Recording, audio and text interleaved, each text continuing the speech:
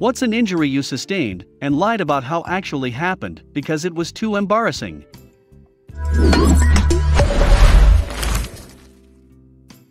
I once semi dislocated my kneecap in such a way that my leg locked up, and I was in incredible pain, by sitting down to eat at the dinner table and twisting my leg somehow.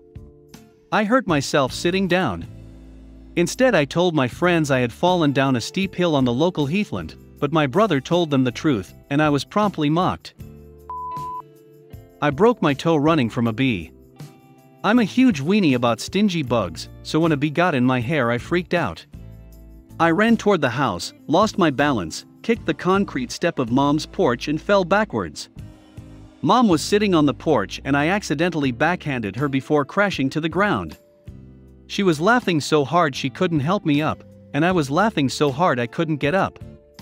I was super embarrassed for a while and just told everyone I tripped. I got over the shame because it was pretty fucking funny, so I don't lie about it anymore.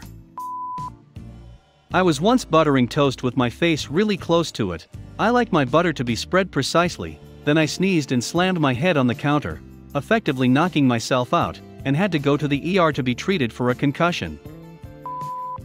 In third grade, I was holding a pencil in my fist, point up.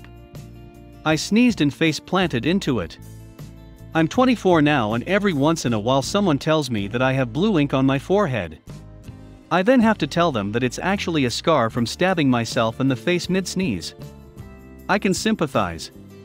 Edit, thank you for the gold. For those asking, I'll try to see if I can post a picture tonight.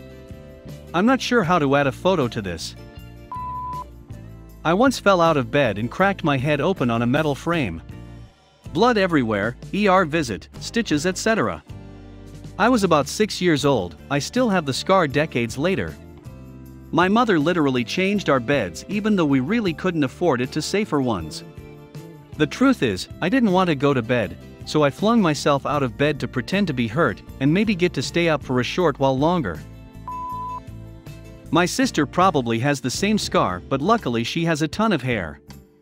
As the older sister, it was my job to convince her to do dumb things, and she listened when I told her to jump on the bed. But then she fell out and split her head on the metal bed frame. My dad rushed us to the hospital, and my mom came home from work to find us missing, blood everywhere, and no note or anything. Before cell phones. My dad and I were both in trouble after that. I got surgery a few years ago on my knees as I had dislodged some loose cartilage in the joint and also torn a bit of my meniscus. At the time, I was playing a ton of Ultimate Frisbee, so I just told people it was that. It actually happened when I was getting up from a chair.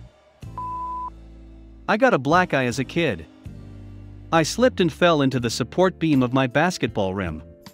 My dad made me lie to my other family members and say I got it defending some kids at school. He was pretty embarrassed at how terrible I was at basketball. Was getting hot and heavy with my boyfriend at the time. He reached under my shirt and unhooked my bra, and then pulled my shirt and bra up over my head at the same time. As he did this, the underwire in my cheap ass bra popped out and left a huge scratch right across my forehead. I made up some story about digging through my closet looking for something and getting scratched by a hanger. I have a scar that crossed my left eyebrow. It looks badass and I made it during a fight against a man with a knife. At least that is what I tell everybody, because saying my PS2 fell on my face cause I tried to lift it while not paying attention may be too stupid. Edit, I loved reading almost all the answers, apparently the stupidity is a common affair. First time I experienced the fire inbox and thanks for the gold, you kind stranger. My grandmother noticed a mark on my forehead. It was round and just under an inch in diameter. She asked me what happened, without missing a beat, I straight up replied with, I burnt my head with my hair straightener. She grumbled that I should be more careful. What really happened, you ask? I got my head stuck between the back seat and back arm rest of a car, resulting in a friction burn, similar to carpet burn, while rooting slash getting laid slash bang slash having sexual relations in the back seat. Edit, clarification. I have these really ugly shoes that I wear around the house that my husband absolutely hate. I was taking laundry down the stairs and I fell down the stairs because of the shoes. I couldn't tell him that because then he will be correct that my shoes are stupid, so I told him that the dog ran between my legs and made me fall.